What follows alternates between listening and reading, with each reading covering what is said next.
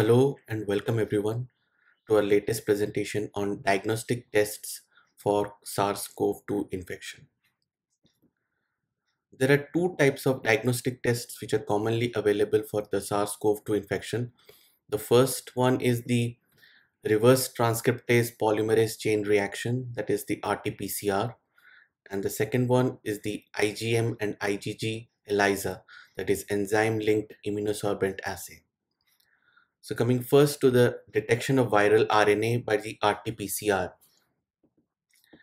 It is the most commonly used and reliable test for diagnosis of COVID-19. This is a test which has been used from the starting of the infection. Samples can be collected from the nasopharyngeal swab, upper respiratory tract specimens including throat swabs, endotracheal aspirates and sputums, and recently it has been also tried from saliva. So we can see here, this is the sample collection for nasopharyngeal swab. The sample can be collected from the nasopharynx by putting a swab through the nasal orifice. The same thing can also be collected through the oral route by from the oropharyngeal mucosa if the patient is intubated, then we can put in a catheter and take an endotracheal aspirate. Or if the patient is not intubated, we can ask the patient to cough and examine the sputum. Now, a variety of RNA gene targets are used by different manufacturers, with most tests targeting one or more of this particular gene. This is the genome of the SARS-CoV-2 virus the most common gene that is targeted in this RNA is envelope, followed by the nucleocapsid, followed by the spike protein, the RNA dependent RNA polymerase, and lastly, the ORF1 gene. So the manufacturers, they target at least one or more of these genes when they make a kit. So the thing that they do is something called the cycle threshold. So your cycle threshold determines whether the patient is a positive or a negative. So what is this cycle threshold? The CT is the number of replication cycles required to produce a fluorescent signals. It basically is the number of times they have to do this cycling to get a positive fluorescent signal. So the lower the number of replication or the CT that is there for the particular patient, higher is the viral load. It means that if there is a larger viral load, uh, within less cycles, we will get a positive signal.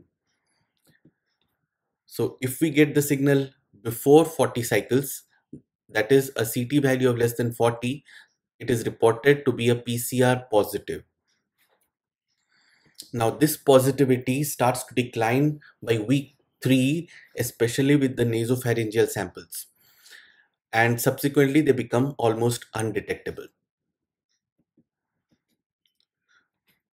Please keep in mind a positive PCR means that we have just found the RNA of the virus. It doesn't necessarily mean that the virus is viable. This is especially important to in terms of infectivity. A patient who has been found positive doesn't necessarily mean infective. The implications of this is also to be discussed further, especially when we do the PCR from the sputums and the stool samples.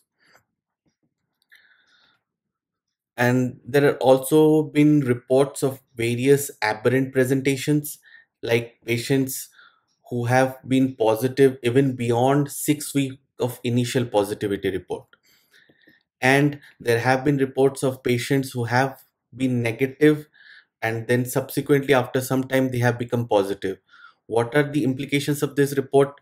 Does it mean that the patients are getting reinfected or they continue to be infective beyond 3 weeks or even beyond 6 weeks? Is not something which we know at this time but for all practical purposes we can take 3 weeks as a time beyond which the patients most likely are not infective anymore. So when can we join back to our work if we are tested positive, especially healthcare workers. So, a healthcare worker can join his duties if at least three days, that is 72 hours, have passed since recovery.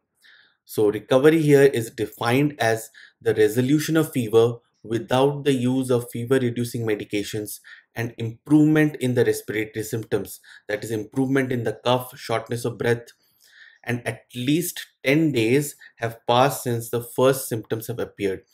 So, if a patient fulfills these criteria, then that person can go back to his work. In a study of 205 patients with confirmed COVID 19 infection, the RT PCR positivity was highest with bronchoalveolar lavage specimen, that is 93%. Sputum was positive up to 72%, nasopharyngeal swab 63%, and pharyngeal swab 32%. So it is always better if you collect at least two samples one, a nasopharyngeal swab, and secondly, a lower respiratory tract swab, which can be either a, a ET aspirate, a bronchoalveolar lavage, or if the patient is not intubated, then a sputum. So, what are the specificity and sensitivity of this test? So, false negative results occur due to various reasons, mainly two. False negative primarily means that you have given a negative report to the patient, but the patient actually has the disease. This can occur in two conditions. The first is inappropriate timing of collection of the samples. If you have collected the samples early, then there is a chance that you will not find the RT-PCR to be positive. This happens also if when the patient sample is collected very late, especially beyond three weeks. Here, you may find that the antibody is positive, but the presence of the virus is no more there in the upper respiratory tracts. So in these conditions, especially if you are doing the test early or doing the test late, you will find that the test is negative, but it doesn't mean that the patient doesn't have the infection. But the most important is the deficiency in the sampling technique, especially for the nasopharyngeal swabs. This happens because people tend to collect the nasal swabs more in place of the nasopharyngeal swab because they fear that the patient is going to cough and sneeze. This results in negative reports when the patient may actually be having the illness. Specificity of most the, of the RT-PCR is 100% because it is based on the primer design specific to the genome of the SARS-CoV-2. But in spite of this, we may find occasional false positive reports. These are due to technical errors or the contamination of the reagent. The second method by which we detect that a patient has a SARS-CoV-2 infection is by detecting the antibodies to the virus in the blood of the patients. So a COVID-19 infection can also be detected indirectly by measuring the host's immune response to the SARS-CoV-2 infection. Serological diagnosis is especially important for patients with mild to moderate illness who present late because by this time there is no more RNA present in the nasopharyngeal or the upper respiratory tract. So in these cases, a serological diagnosis is more important. IgM and IgG seroconversion occurs in all patients between the third to fourth week of clinical illness. This has been proved in studies by To and Jiang et al., which included almost 100 patients. Following this increase, the IgM then starts declining and reaches lower levels by week 5 and almost disappears by week 7. IgG persists beyond 7 weeks and it may provide us with long-term immunity to the particular virus, but this remains to be seen. So what is the sensitivity and specificity for the antibody tests? The sensitivity of PCR and IgM ELISA directed at the nucleocapsid antigen is 98% versus 51% with a single PCR test. This is especially important for patient who is coming beyond the second week of clinical presentation. In these cases, the chances of getting a ELISA positive is much more than a PCR. So here we can see that the sensitivity of combining the two tests is much higher than doing a simple PCR. During the first five to six days, the quantitative PCR has a higher positivity rate than the IgM antibody. But beyond the six days, the chances of getting a antibody test positive is higher than a PCR. ELISA based IgG and IgM have greater than 95% specificity for diagnosis of COVID 19. Majority of the antibodies are produced against the most abundant protein of the virus, that is the nucleocapsid. Tests that detect the antibody to the nucleocapsid are considered to be the most sensitive.